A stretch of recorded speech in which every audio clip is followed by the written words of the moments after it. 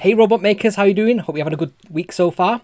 So, do you want to know how to build your own musical instrument using a couple of rangefinders, a Raspberry Pi Zero 2, you can actually use any Raspberry Pi, and some Python? Then this is the show for you. So let's dive, let's dive straight in. My name's Kevin. Come with me as we build robots, bring them to life with code, and have a whole load of fun along the way.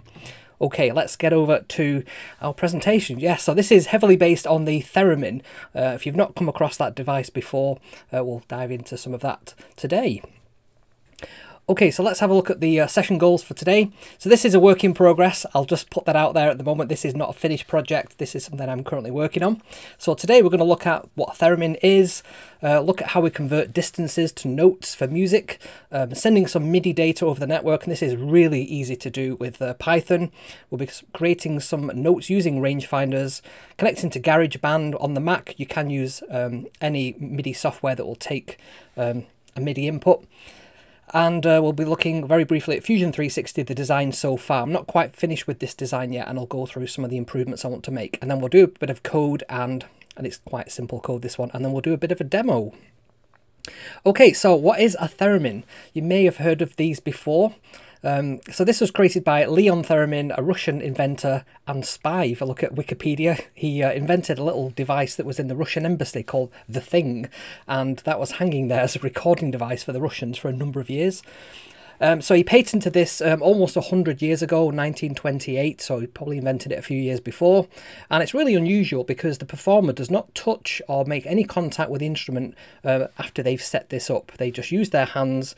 Um, they, they have one hand which is moving up and down, and they have one that's kind of near the body, and they do various different gestures. So um, it was also called uh, an etherphone. It had a few different names, um, and it has a very strange kind of haunting sound, and it was used in lots of 1950s sci-fi movies. So yeah, it's a, a very unusual instrument. There's not many like this. So let's how, see how a theremin actually works. So it's based on gestures. Um, the theremin has two antennas. There's one which is like a loop that goes out to the right hand side and then usually on the right hand side and then there's one oh it's the left hand side sorry and then there's one which is sort of straight up so one of them measures the distance uh, as, as volume so that's the left hand one so as you move your your hand up and down um, it'll become louder or quieter. So as you sort of touch the device, it's silent, and then as you move your hand up, it'll go even louder. So if you move your hand away, it'll go like full full volume. And then the other one, as you move your hand further away or towards um, further away from the antenna towards yourself or towards the antenna, it will change the pitch of the note that's being played. So it's very difficult to actually play this. Uh, I watched a few videos, uh, we'll get onto one of the performers who plays this professionally in a second, um, Carolina, and uh, you have to have your body very still and your hand sort of just making very small gestures and she's come up with an entire uh, sequence of gestures to make each note individually and very accurately so she can do it by muscle memory. But anything that's in the room can affect this antenna. Any any bodies any metal objects anything that's moving past the field and the field sort of spans out from the antenna in all directions. So it's very difficult to play because of that. You have to sort of calibrate it as you go so I was thinking about this. Um, I watched a couple of videos on this and it kind of inspired me to think about how we could do something similar like this. So yes, Carolina is it Eek? I'm not sure how you pronounce her surname. So she's a professional uh, theremin player uh, and she's created this entire sort of gesture where you can do various different um, hand gestures. If you watch the videos, it's fascinating to watch and she can show you how you can play a scale. She plays various different pieces of music on it, and uh, yeah, it's very. She has a quite a modern theremin as well. It's quite a professional one. So uh, check her out. Just Google Carolina uh, and theremin, and you'll come across all her good work. So the TherePi, this is what I'm calling the device I've invented. So rather than using an antenna and um, sort of capacitance, resistance capacitance. I'm using some rangefinders because we have a whole bunch of these for the SMARS robot and for things like the Otto DIY. We have these as like the little face on the robot. And I was thinking, well, if we had two of these, uh, I've got one at a 45 degree angle and one that goes straight up, so you could have your hand kind of over here, let me just go full screen a second, um, so you'd be able to sort of move your hand away in that way and then up that way. So this would be the volume and this would be the pitch. This would be the note. I'm just going to put that back there a second. So very simple for us to, to work with. We've used rangefinders before in a lot of our code for measuring distance. So what we need to do is change distance into either volume or into a particular tone or pitch for our note and then we can just take a reading and then we can work out what note is being played. And we can make this a bit easier to play than the theremin. We can kind of quantize this so it's a, specific note given a particular distance. So if you're in between, it'll just stick with the previous note until you've reached that threshold a bit further away. So this is a 21st century version of the theremin. So converting distance to notes, um, it's quite simple for us to do this. Um, the rangefinder itself measures, uh, it's got an accuracy of about 3 millimeters, so it's pretty accurate, and it has a range of about 4 meters, so your mileage may vary. Um, I, I, found these work up to about um, a meter quite well. Beyond that, it depends on the surfaces, it depends on a lot of the conditions. So we can calibrate this um, to return a value between 5 centimeters and 50 centimeters. We can basically just ignore everything outside of that, and that can be our range. So that's probably about this kind of range. So it's enough for us to be able to get some kind of accuracy as we're moving our hand to get the, the various different notes. Uh, and you can see in the little diagram there, we've got the volume going straight up and the pitch going out 45 degrees.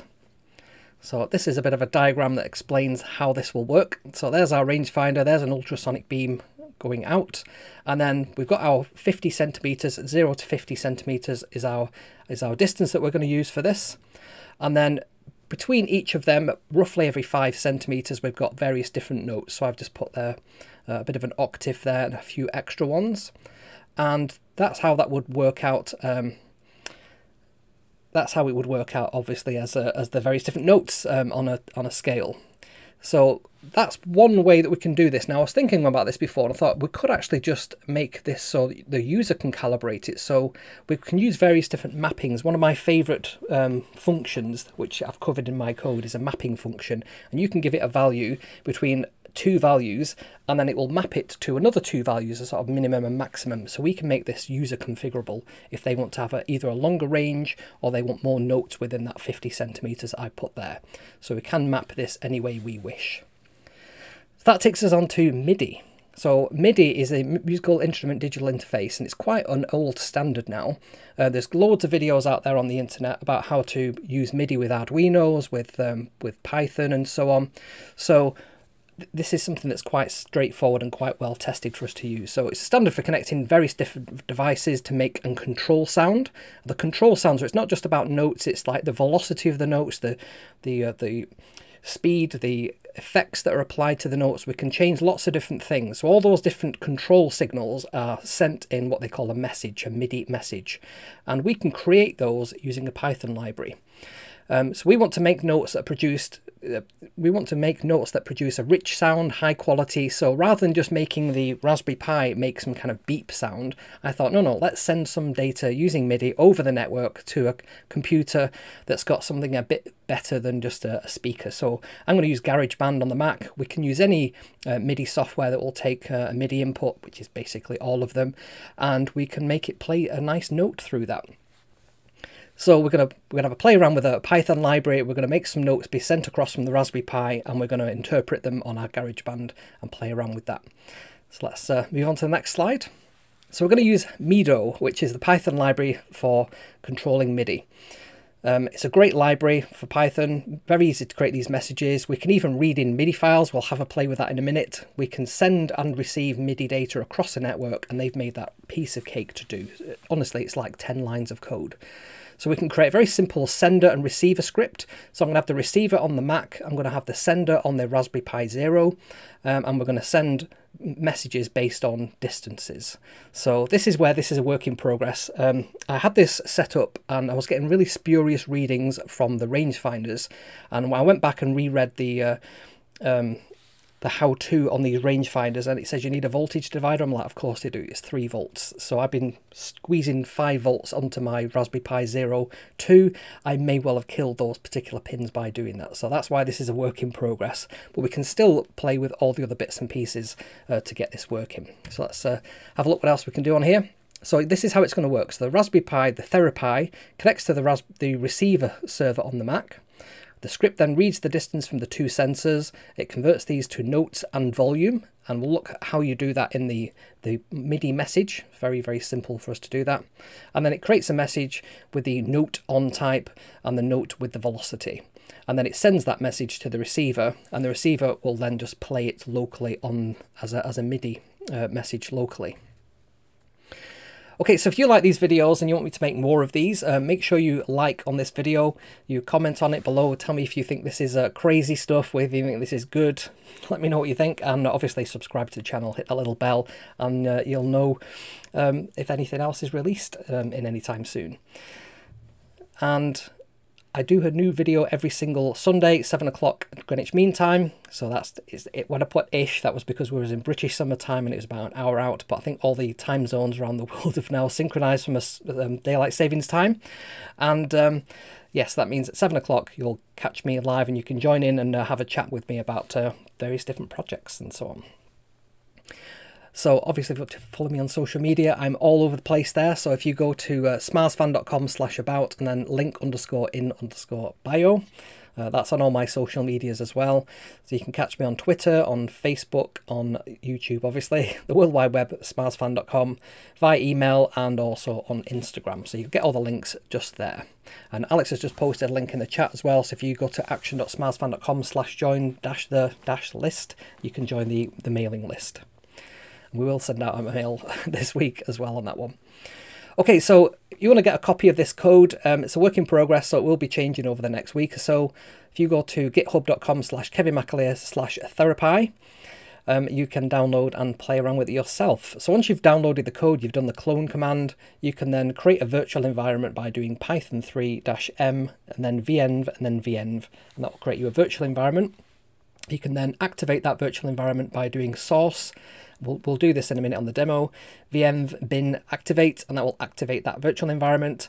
And then you can then install all the, the libraries which we need. So let's have a look at some of those libraries uh, in action in a second.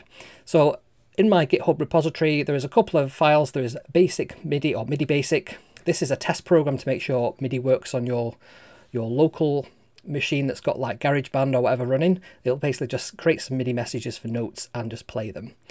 Uh, there is a receiver script, that, so that's the server in effect, that's going to receive messages from our Raspberry Pi. And then there is the TherePi main file itself, so that will, um, have I spelled that right? That's therapy, I think it's therapy with an I. That's the main uh, application script that we can use, which is the work in progress bit. And then the requirements.txt has all the different um, libraries that we need to install. So we use pip dash r and then requirements.txt and it will just install all them automatically and it'll make sure everything just works as you would expect it to. So the first one, MIDI basic.py is a test program. So let's have a look at this. So I've got a couple of comments to begin with from lines one to four. Then we import Mido. So Mido is the library that's going to do all the heavy lifting when it comes to MIDI. Um, so it's basically MIDI objects for Python, that's what it stands for. So from MIDI, uh, Mido we import message, that's going to be the thing that creates these tone messages, these notes for us. And from time we import sleep because we're just going to put a sleep in between our test thing. So to connect to our local MIDI device, uh, our local MIDI environment, so I'm on a Mac, so the name of my uh, driver is IAC driver bus 1. And if I go over to the audio MIDI setup on my Mac, you can see here, this is um, an application that's just called MIDI, Audio MIDI Setup.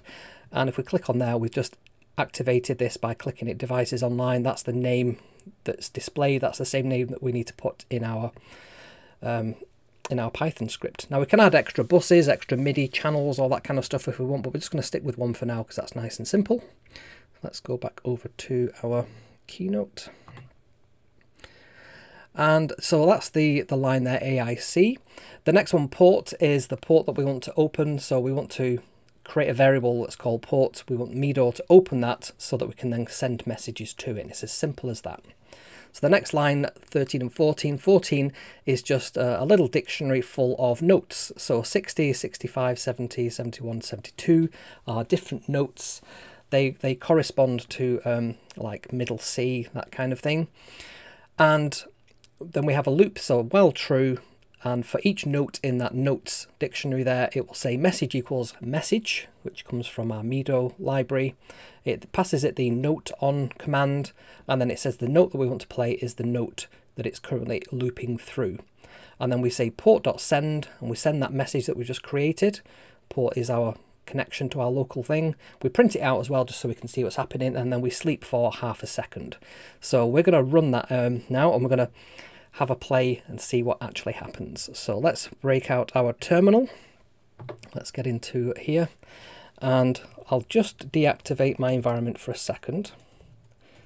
Deactivate. So I've downloaded the code. If I just do a list, we can see, a list long, we can see there we've got MIDI basic. That's the one that we're going to play with that we've just looked at. So to activate this environment, I do source. I then do virtual environment binary and then activate and it will say in brackets venv there. And now I can just type in python and midi basic.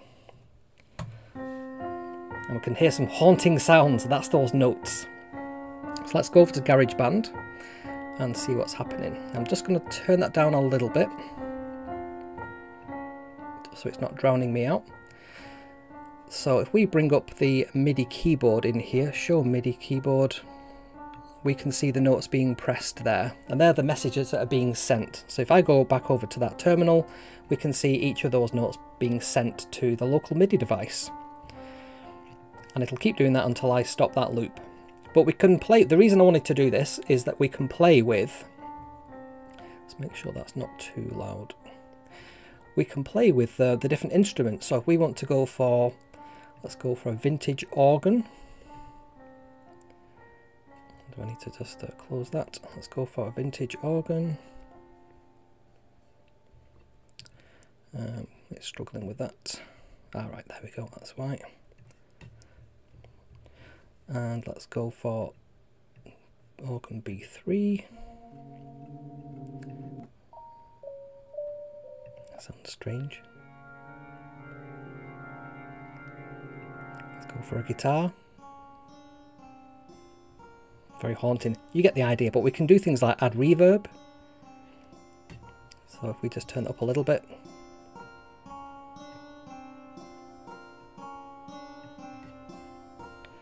So let's just stop that now. There we go. Clear that. Okay, so that's part one. We've just looked at how we can create some notes, we can send them to our local MIDI interface and then we can play them. So that's just running on the Mac. That currently isn't running on the Raspberry Pi itself. So we're going to look at part two of the code, which is the receiver. So this receiver will be the thing that's the server that sits on our Apple Mac uh, or, or Windows or Linux PC and actually plays it to the MIDI device itself. So it's a little bit longer this one, so we've got a couple more um, comments there. We import Mido like we did before, we import the message. We're also now importing the sockets and port server, and that's the thing that's going to be the server. Uh, I've commented out there this MIDI ports and port, we don't need that on this one. And then I've set up um, a host and a port. So the host is the IP address of this uh, Mac that I'm currently using. The port is just a local port that we've um, got free. You could use 8000, I've used 8080. And then we do the thing that we did before, which is setting up the IAC, so the IAC driver bus, and then the port, we've set that up before. But now we want to set up a port server. So we say with port server, we pass it the host, which is that IP address, we pass it the port, which is at 8080, as server, and then we then say the server is started, and then while true, so repeat this loop forever, and I've just wrapped this in a couple, maybe I've gone a bit over the top here, but a couple of try except blocks. That means if there's an error, it will catch that error and continue working. So it just gives it a little bit more robustness, although it's not thoroughly robust. So then we try client equals server.accept. So that means wait for anything to connect. Once it's connected, then we, we have something to work with. We've got this client. Um, if it has any kind of error, it will just say, oops, er-, error caught. And then for message, we say messaging client. So every time a message comes through, we want to do something with it. So we want to send that message to the port. We want to print that out, and if there's any kind of error, again, we just want to say, oops, error caught. And then the other one there is if there's a keyboard interrupt, so if I press Control and C, I want it to sort of close that port and then stop the program from running cleanly. So that's what our receiver one will do. Uh, what I'm going to do as well is I'm, I'm going to run this one on the Mac and then I'm going to hop over to the Raspberry Pi Zero and I'm going to run a local MIDI file. We're going to read in a MIDI file. Uh, so that's in the, the player. So if we go to Visual Studio, let me just bring this one up and I can quickly show you the code for this because it's very simple. So here we are over in uh, Visual Studio. So actually it's not not Das Boot. This one is going to be toccata.mid. Let's just change that as well. So toccata.mid. And let's just zoom in a little bit so we can see that a bit easier.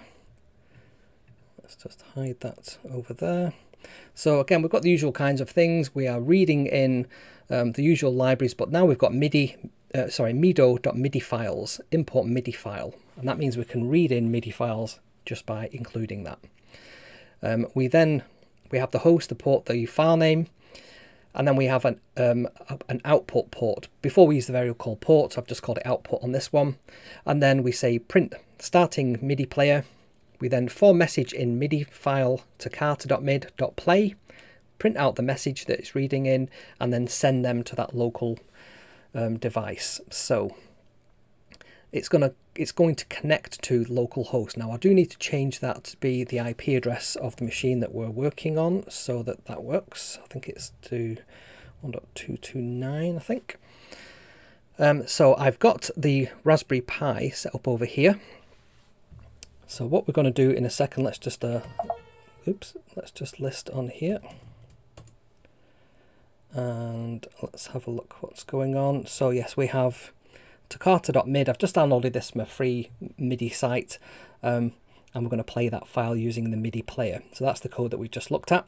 So before we do that, we need to hop back over to the Mac. We need to run um, our receiver. So MIDI receiver. So that's now started, it's waiting. Now we're going to go back over here to our Raspberry Pi Zero. We're going to do Python and we're going to do um, MIDI player.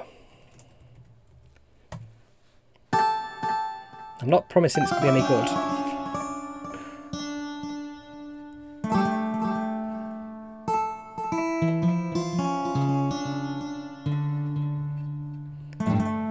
It's like a Spanish guitar version. Let's find an organ that's more suited to this.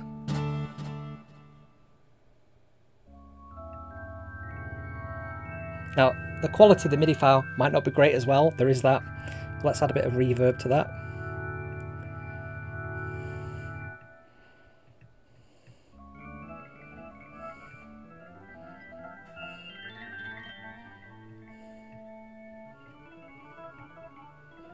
playing about with things there. So you get the idea, it reads in the MIDI file, we get all the messages sent there. So we can see there loads of information and we can have a look at that. We've got note on, note off, we've got channel zero, which is the channel that we're using. We've got the note itself, which is those numbers. We've got the velocity, which is how hard the key is being hit, and then we've got time, which is just when is it playing the, the note. So let's just go back over to our Raspberry Pi, press Control C, and it's now stopped that. It does actually crash the server. I've not managed to make it not crash the server when you press Control C on the other machine, so just need to remember that while we're, doing that. So that's that. Um, okay, let's have a look what else we are looking at today. So that was our receiver Pi. Uh, part two was the sender, right. So this is the thing that's going to send the notes um, and we just we just read in a MIDI file. What we can do now instead is just play those same six notes that we looked at, we heard before, those haunting notes. there they are in that little array. We're going to connect to the server, which is running on the Mac. So we'll run this on the, the Raspberry Pi. We'll say starting MIDI sender, and then it will just loop through each of those notes in that note array. Um, it will say uh, message equals message, note on, note equals note. Velocity is 127, which is like the, the highest hardest amount you can press a key. So it's not soft, it's um, like full down. Um, the output.send will send that message to the server and then we just print it out, wait half a second, uh, and then just loop through.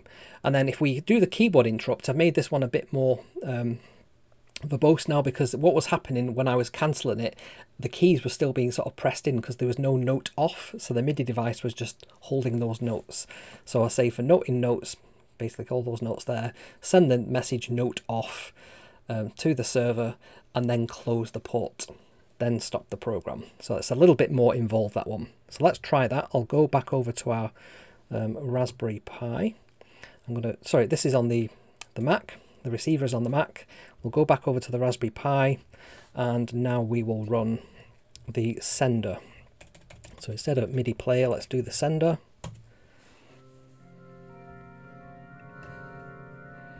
Let's go back to piano on that one.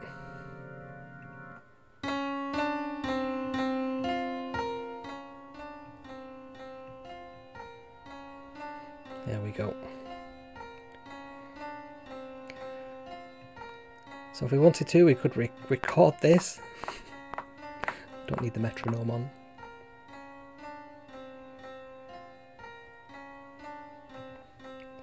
There we go. And if we wanted to, we could edit those notes and do all the good stuff that you can do in, um, in GarageBand. So there we go. Okay, let's just stop that from running. Let's go to the Raspberry Pi. Let's just do Control C and you hit it, just go dun dun, and it then sent those messages and then it quit. So we don't have any notes being held. Um, so we can just clear that as well, clear that as well. Okay, let's go back to our, our keynote. So a bit more involved that one, but still not too many lines of code, quite straightforward for us to understand. So next steps. So what I need to do to make this actually working, and I'm sorry if I'm disappointing you today by not actually having this plugged in, um, these four just connect into the, um, I've actually got it in front of me on the desk. Sort of. Oops, desk in front of me down here. So that's actually plugged in and it's just got the, the header pins and these just connect up to, um, I think it's pins um, 20, 27 and there's a there's another bunch as well for the other so I'm, i was basically just concentrating on the tone for now, and then just the volume would be very simple to add to. So I just need to put a voltage divider in between these and the Raspberry Pi so that I don't blow out um, the chip because it is 3.3 volts, not 5 volts. Uh, once I've done that, then it will read the range properly and that will work almost guaranteed. It's very simple code to read a rangefinder. We'll have a look at the code in a second because it is a bit different than what we've used previously because this is full Python. Um, I also need to rework the design a little bit because this um, little chassis that I built, um, I designed this in Fusion 360 and it's designed, if I just take this off for a second, I just grab this Raspberry Pi Zero that I've got here. Let's just go back full screen for a second. I've just got this in one of these little cases. Okay. And in here I've got some little nodules on the bottom, you can just about see them there. And this Raspberry Pi fits into there and sits nicely on those nodules, so it sits in place. Now, it is a bit fiddly to get this in place, but it does sit there. Let's just do that. There we go. So you can see there, the Raspberry Pi Zero is sat in there. Those little nodules mean that it's um, it's nicely firmly sat in place. Now the problem is you can just see the memory card reader there. I've not left enough space for the memory card reader to sit there with a memory card in. If I grab um, a zero, let's grab one that's got a header and the memory card. You can probably just about see there, the memory card sticks out a bit. So I hadn't allowed about five millimeters for that to work. I did allow enough space for the, the headers to sit there with wires plugged in, so there's plenty of room in there for that. But there is also no holes on the side to be able to connect the wires up. So I just need to do a bit of a redesign on that um, for that to be able to work. But the, the nodules work quite well. They do hold it in place nicely. So that's one of the first things I need to do in Fusion 360. Um, so I need to make the, yeah, the gaps a bit larger with a gap for the memory card and some holes so you can put the cables in as well. Uh, I'll share the STL files once I've done that. Um, the rangefinders themselves use the SMARS um, um, holders, so you can just see the rangefinder there these push in really nicely. So there's no screws required, there's no glue or anything. They just sit in place quite nicely there. And I have got these covers which we have for the Smars robots. Um, we can have those as well. Like, you get the idea. What I did need to do um, as an adjustment on one of them, which one is it? That one, it's the yellow one.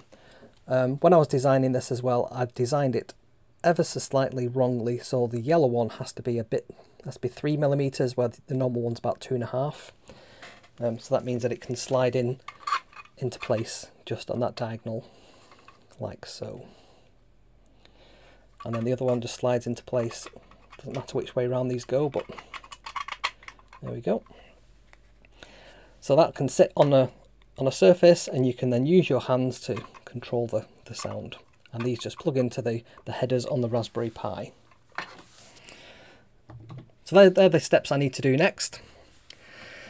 So part three, let's have a look at the TherePi code itself, uh, and then we'll get on to Mailbag. So let's just have a quick look at the code itself. So let me go over to Visual Studio. Let's load up the TherePi code. So there we go, TherePi. Let's just close that. So there's a bit more going on in this one. So we're importing distance sensor. So I'm using the GPIO, GPIO0 um, Python library. So that enables you to connect to the Raspberry Pi uh, headers. And one of the things that it has as a built-in type is distance sensor. So you can use the distance sensor, you just pass in a trigger and an echo pin, and it will take care of everything else. So whereas we've normally had to create our own code, you know, measuring the speed of sound, dividing it by two and all that, they do all that for you. So it's nice and simple.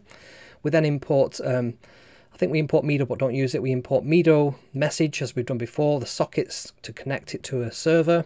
I also import Pygame. So Pygame has got a really nice MIDI um, module as part of it and it has this frequency to MIDI. So you can um, read in a frequency such as 60 and then it will convert that to the nearest note. So you can see some examples there. So they passed in 27 and a half and it said the nearest one is 21. We pass in 36.7, the nearest one is 26 and so on. So that's the function I use to sort of quantize which note depending on the distance that's been provided. Uh, and then there we go, GPIO Zero distance sensor. I think there's a bit of replication going on there. We can probably get rid of one of them. We have the host and the port as we had before. We then have the two rangefinders, so we say volume and pitch. Um, so you can see the pins that they're connected to, so 20 to 21, 22 and 27. I may need to change those because I might have burnt them out, but we'll find out. Uh, and here's my favorite function in all of Python, uh, which can take a value x and then it can take an in value and an, um, a minimum in value, a minimum, sorry, a minimum in value, a maximum in value, a minimum out value and a maximum out value, and it will tell you what the new value is depending on what x is provided. It's very clever for mapping two ranges of numbers. So if you wanted to do it as a percentage, you'd pass in x as like, you know, 5, and it would work out what that would be as a percentage, 5%. But you could also have another range, like between zero, between 5 and 50, if you wanted that as your, your distance, it will tell you what that, that is.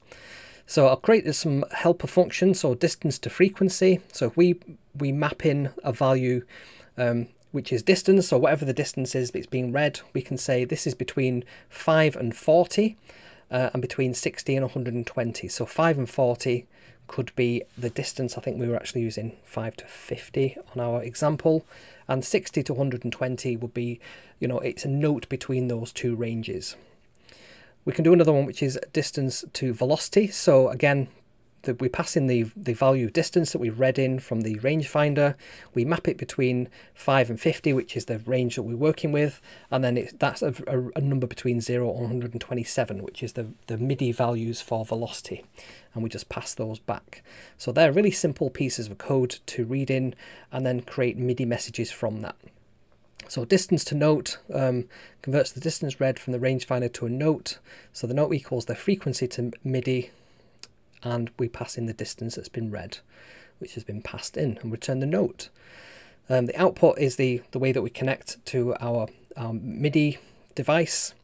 Uh, we then say starting TherePi sender and then while true we read in a distance we we would also read in the volume as well Uh, for this one, I've just hard-coded the velocity to 127 just while I get one of them working. We then do the frequency equals distance to frequency, the note equals frequency to MIDI, and then the message equals note on, the note that we've just detected, the velocity that we've just detected, and the time is zero. And then we send that, and that will work. So that's all we need to do to get that working once I've put my um, voltage divider in place. Uh, and that's it. That will be our TherePi working. I'll put a, I'll post a video of me playing this when it actually does work. I'll try and figure out something that I can play reasonably simply with this new instrument that I've created. So what do you think? Is it crazy creating a new instrument? Is that something that you'd be interested in? Okay, so we'll go over to the mailbag and then we'll look at some comments from people in the chat. So this week we can see we have a few new things in our mailbox. So one of the messages on the Small Robots Facebook group, or possibly um, a YouTube video, was somebody asking, could I have a play with RF tags? So let's just open one of these up and have a quick look what we've got here. And they look pretty simple, electronically speaking, to be able to work. So we've got a couple of header pins there.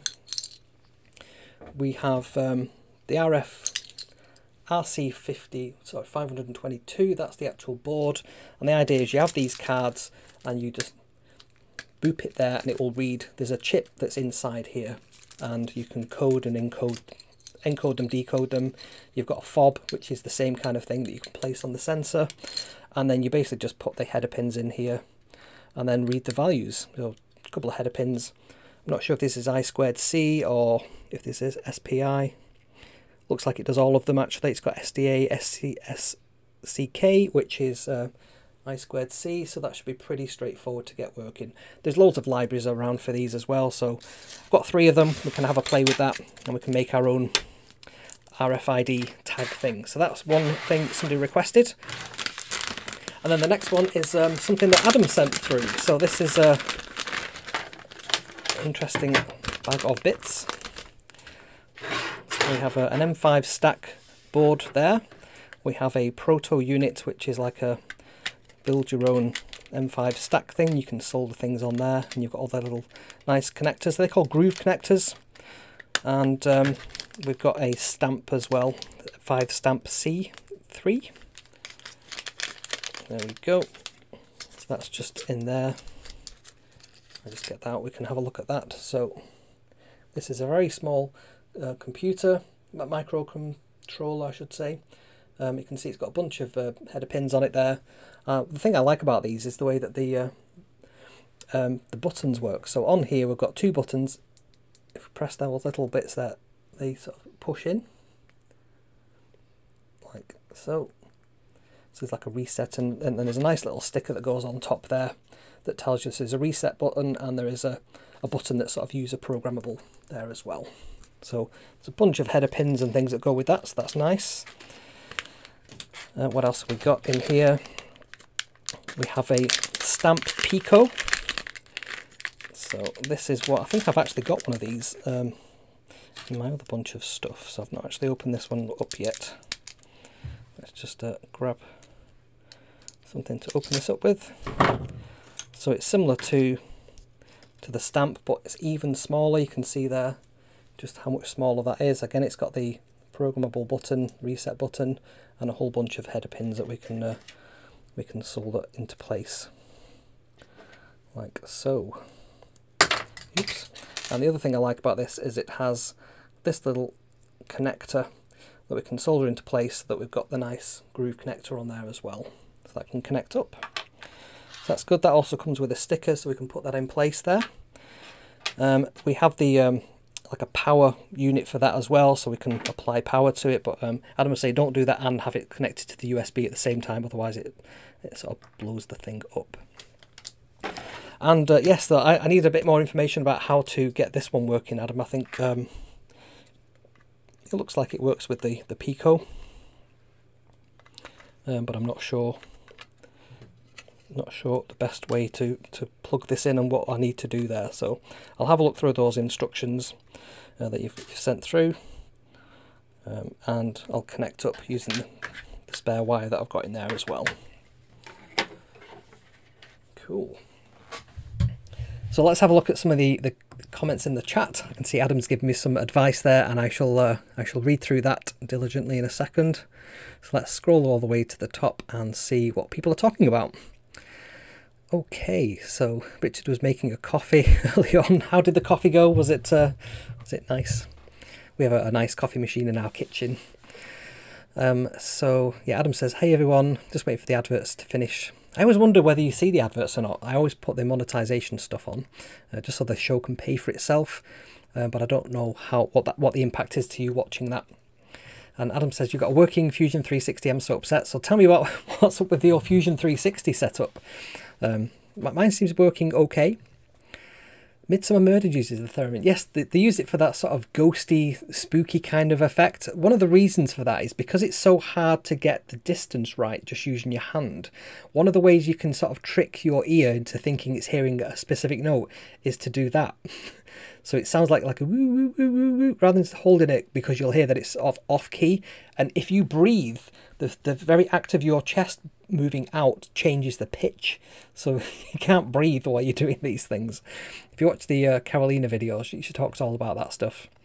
Yeah, Billy ba Bill Bailey is good with it. So is um, I think Sheldon plays it in uh, Big Bang Theory as well. I think he actually did play the Star Trek theme on that. Um, Midsomer uses the theremin in its opening theme. Interesting fact, Midsomer Norton, the fictitious area, is set in an actual place in Somerset called Midsomer Norton. I did not know that. Bizarre. Um, so, yes, Adam is clicking the thumbs up because he's saying, uh, yes, if you want to follow me on any of the socials, I do actually have like a little pop-up thing that's got them on actually. So you can see um, I'm on Facebook group Small Robots. You can at me at Instagram, KevsMac on Twitter, and smarsfan.com is the website. And yes, Alex has posted up as well. If you want to um, join the mailing list, and we will send out some messages on that, I promise. Um, you can go to actionsmarsfan.com, join the list, and you can join our mailing list. It's a very exclusive list, you know, we don't just let anybody in. and um, let's have a look what else we've got.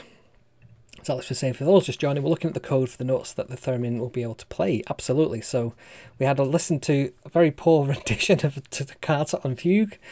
Um, it's one of my favourite pieces as well. I liked it. It was in the film um, 20,000 Leagues Under the Sea. Um, Captain Nemo plays it on this big organ in the, the Nautilus, so I quite like that too.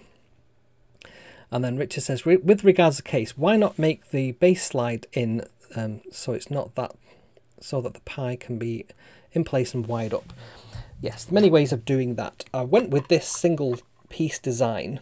Um, I actually just started with a SMARS chassis, so this started out as being the 70 by 58 centimeters, extruded up by 30, 32 millimeters, and then I tweaked it so that it would fit. I, I brought in, I went to GrabCAD, I downloaded um, a Raspberry Pi Zero um, model I then inserted that into here so that I could get all the different measurements.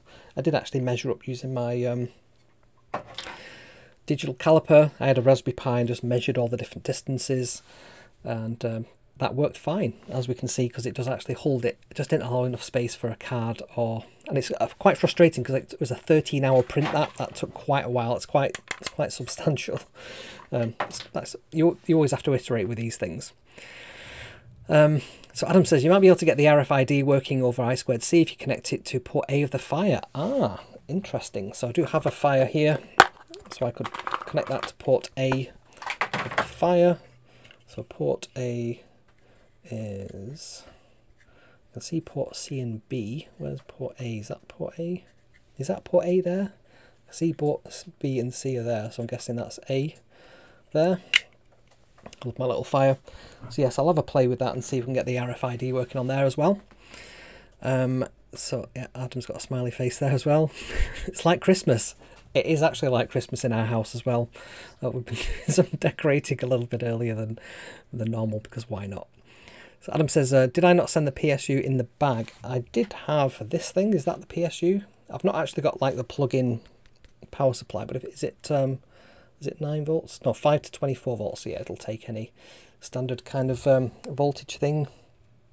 Do you know why people do this when when they're showing something on a video? They hold it up and it and it sort of struggles to find it. It's face detection. The Sony camera is looking for my face. If I sort of hide my face, it finds it a lot easier um, to zoom in, and as soon as my face appears, um, it will then track to my face. The other camera that I've got, the overhead, has a different mode. It has product mode. So as you bring something close to it, it will keep the focus. So I don't have to do anything, and it's really slick. So you can see that that's the, uh, the power unit. Uh, so what else? The board is the board, if for the Pico, the C3 board, it's not even been started yet. Wow, that's amazing. Prototype stuff. Um, I'm common. It was instant coffee. it's okay. I like coffee. Either way, when I remember working at Hewlett Packard and they had a, a vending machine and, and that gave free coffee, and I was just like constantly at that machine. It was awful coffee, but it was free, so it's better than just water. Sam says my Fusion 360 is still it's broken since Apple update. So I'm on the latest Apple update, I think. Uh, my Fusion 360 works okay. I'll fire it up and see what happens. But I've been I use it to design um, the case. Hey Tom, how's it going? Good to have you over here. Mine too, Adam, but then I reinstalled it today with my Windows 11 PC and now it works again.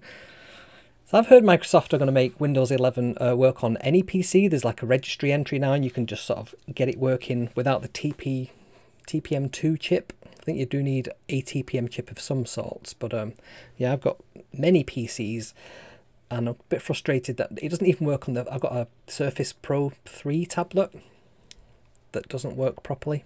Right, so I've got Fusion 360 open here. I'm just going to open up the, uh, the model so we can have a quick look at that.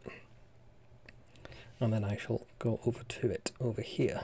So, ah, so I'm with, I'm on, um, do I want to do that? Let me just quickly open that and check what version I'm on. I just need to hide um, my serial number. I do that, does that? No, I can't risk that. So I'm on Monterey, I'm on version 12.0.1 and Fusion is working fine there. Um, they might have updated something recently. I don't know how to figure out what version of Fusion I'm on. 2.0.11415. But I think it's on 10.16.0. That's weird. But yeah, it's working fine. Uh, as fine as Fusion works. So let's put our layout grid back on. Oops. And I can show you the Raspberry Pi in situ. Right, I moved it and it, it left all the little pieces behind. So there's all the little circuits and everything.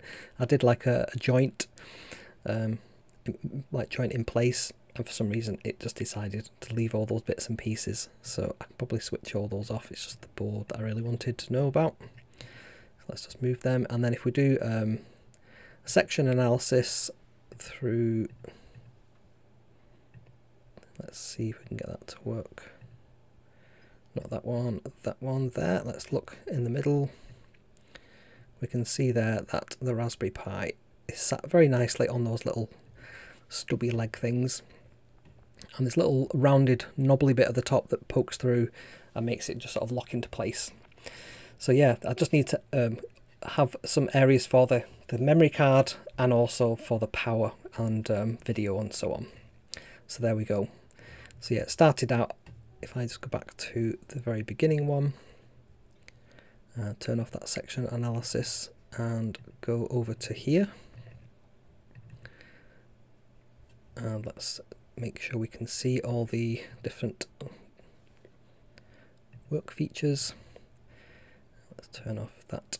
You can see there 58 by 72, made it 2 millimeters longer than the uh, standard SMARS robot. And then I just extruded that up and so on. So I'll not go through the entire build of that, but yeah, Fusion things be working fine for me. Not sure what the issue there is that you guys have got. Um, maybe it's a Windows bug. So Richard says, Adam, does Fusion 360 use mono by chance on the Mac? Mono. Haven't the foggiest. okay. So Apple patched a security flaw in the Intel graphics driver, which broke Fusion 360. I see. So I'm on a Mac M1. I don't know if that makes a difference. I'm not on the, the Pro or the Max. I'm on the original M1. So, yes. Alex says he does a lot more printing now. The 3D printer is no longer in the lounge making noise. That's right. I've got two. I've got the power of two printers now. So that constantly means that printing things is a bit quicker if you can sort of split the design out. So that's why they're in different coloured.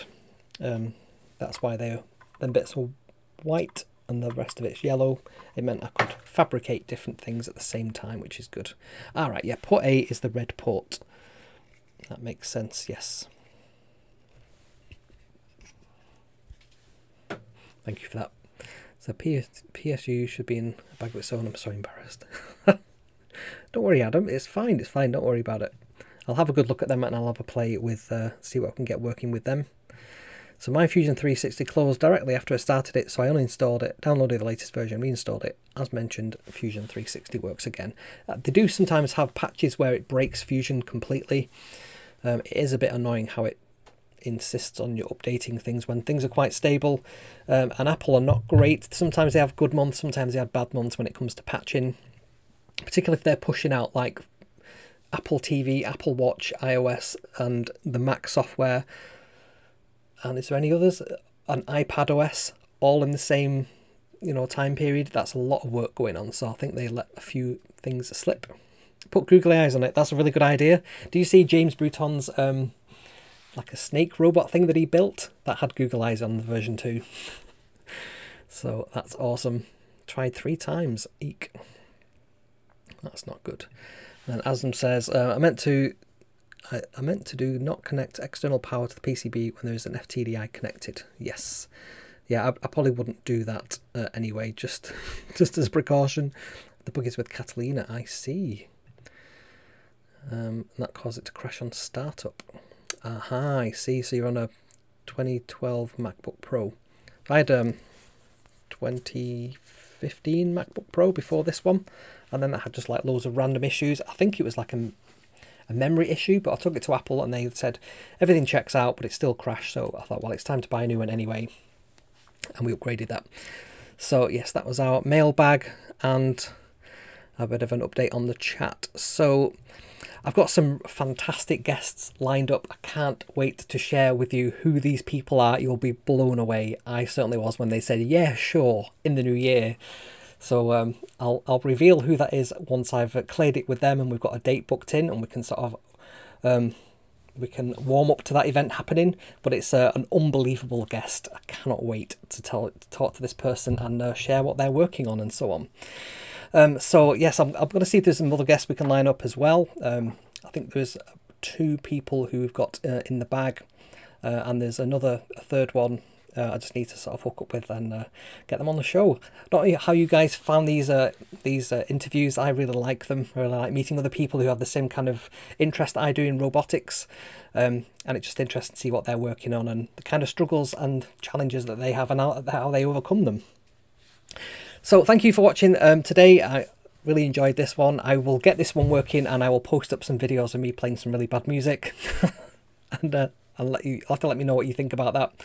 Um, so if, I don't think there's anything else to share, so I shall uh, let you get back to what you're doing. So thank you for watching, and I shall see you next time. Bye for now.